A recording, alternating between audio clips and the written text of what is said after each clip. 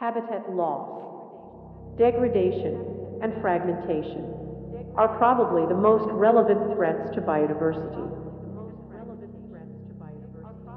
Globally, 50% of endemic species of plants and vertebrates are restricted to some 36 biodiversity hotspots, covering just 2.5% of the Earth's surface and arguably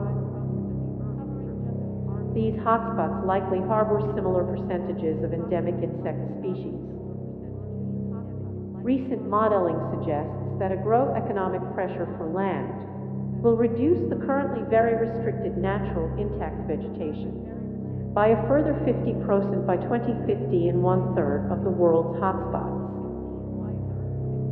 Processes associated with deforestation, agricultural expansion, and urbanization are the proximate drivers of loss of natural or semi-natural habitats and their insect assemblages across the world.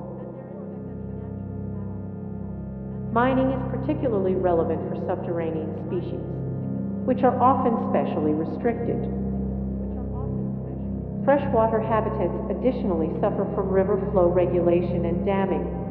Increased siltation in rivers and streams from agricultural runoff as well as flow regulation, degrade habitats of typical stream-dwelling insect larvae.